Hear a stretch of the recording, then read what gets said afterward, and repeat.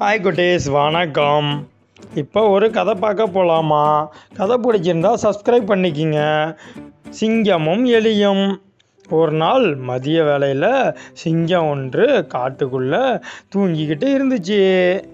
அங்கே வந்த எலி சிங்கத்தின் மீது குதித்து குதித்து தாவி விளையாடியது.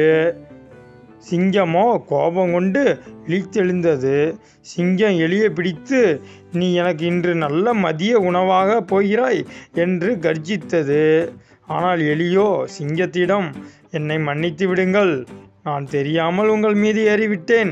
என்னை சாப்பிட்றாதீர்கள் என கெஞ்சி கேட்டது. சிங்கமே இன்று நீங்கள் என்னை கொல்லாமல் விட்டுவிட்டால் என்றாவது ஒரு நாள் உங்களுக்கு நன்றி திருப்பி செலுத்துவேன் என்றது எலி.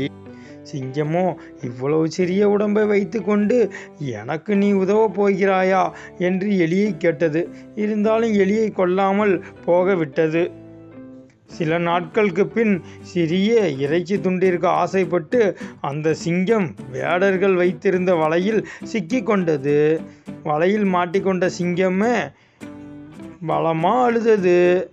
அந்த சிறிய எலி சிங்கத்தின் சத்தத்தை கேட்டு அங்கு ஓடி வந்து பார்த்தது. வலையை தன் பல்லால் கடித்து சிங்கத்தை காப்பாற்றியது.